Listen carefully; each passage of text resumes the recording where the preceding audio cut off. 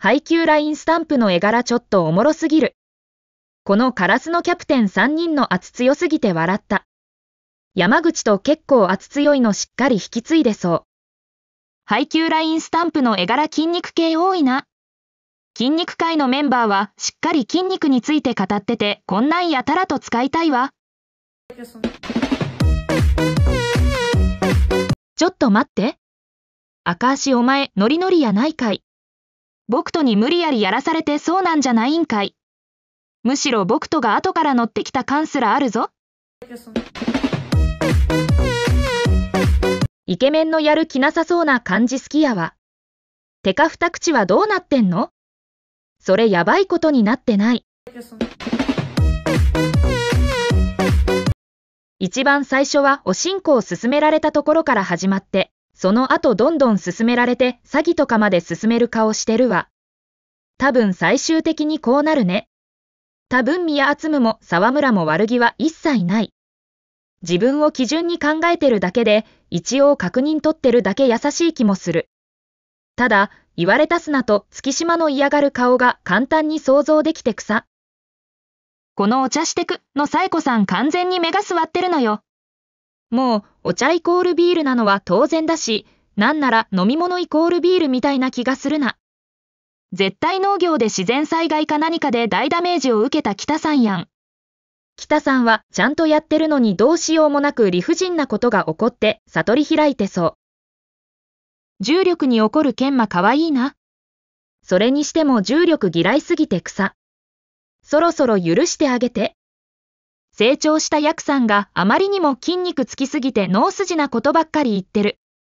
多分ロシアの屈強なスパイク疲労には筋肉が必要不可欠なんだろうな。小爪研磨の嫌いなものは重力と根性。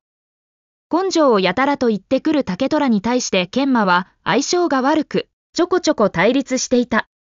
ボールが落ちてくるのも疲れるのもすべて重力のせいにしてなくなればいい。と試合中に切れ始めてチームメイトに衝撃を与えた。おさむが集むのこと大好きな瞬間。稲荷崎メンバーで集むの試合応援するとき、頭のユニフォーム着て準備万端っていうのはさすがに集むのこと好きすぎんかね？しっかり双子ネタ仕込んでるの笑う。高校のたった3年間、たかが部活で人生変わってるし。バレエ続ける人も辞めた人も、この3年間は人生の中で糧になってる、って胸を張ってる気はする。その後の人生の糧にできるほどの青春最高だよね。ついにもう一回がない映画特典が明かされたんだけど、とりあえずこの表紙は最高。この猫マステッカーかわいいな。猫にしてもかわいいのかよ。そろそろお金尽きちゃう。沢村の最後の日向と影山への一言、頑張れよ。はこの二人は勝手に好き勝手に頑張るから違うなってなってるの理解度高すぎん？結局選んだ言葉が楽しみにしてる。っていうのはこれからの活躍をつって意味はもちろんこれまでの一緒にプレイして楽しかったからこれからも楽しませてくれって感じでめちゃくちゃ良き。配給映画特典第7弾は33.5巻の表紙別バージョン。この研磨と日向の表紙もいいな。ちなみに内容は変わりはないそうです。ハイキューの西野や天内ちゃんに抱きかかえられて満面の笑みになってるらしい。多分田中が結婚できて西野屋が世界を放浪してるのそういうところじゃ。宮厚夢はセッターの教示でオーバーでトスをすることに並々ならぬこだわりを見せているが、チームメイトからは厳しい意見を言われている。北さんに関してはオーバーにすればいいってわけじゃないとか言われてる。この影山 vs 日向の試合が終わった後のやっちゃんと山口の笑顔尊すぎる。一緒にいる月島ですら浄化されて笑顔になってるもん。満面の笑みが可愛すぎるって。レッツ、ハイキュー、で宮ツインズの双子木を日向が期待してるギャグっぽい描写があるが、本家でも宮津インズスカイラブハリケーンしようとしてたから、本人たちも双子の技やりたくて草。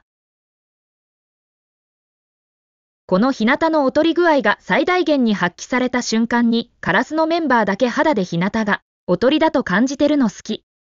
やっぱり一緒にプレイしている人にだけ感じる雰囲気というか、劣りの瞬間がわかるんやろうな。だから影山だけが日向に完全には釣られるずにブロックに飛んでるし。日向 vs 影山の試合見てる菅原があまりにも読者の気持ちすぎる。行け、友を止めろ。の気持ちがオーバーフローしてるんよ。菅原ママとしては複雑やな。最初このモンスター世代の対戦で各選手が活躍するたびに高校の横断幕が後ろに出る演出憎いわ、と思ってたら。ノブの声で横断幕再生されるようになってから気が散る。この2アタック決めた時の影山と宮厚夢の顔同じすぎない。日向使ってブロック振り回した後に2アタック決めるとドヤ顔したくなるものなのか。この日向が月島のブロックのうまさに気づく瞬間がエモい。今までは漠然と思ってたのが、日向自身がレシーブを身につけることによって、ブロックの重要性を再認識している。他人のうまさに気づくことで成長を描くのめっちゃ好き。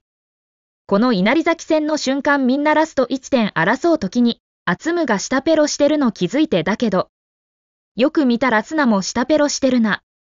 おいおい、意外と砂も好戦的な感じ嫌いじゃないわ。ハイキューのツーアタックした後の影山のドヤ顔目つき悪すぎる。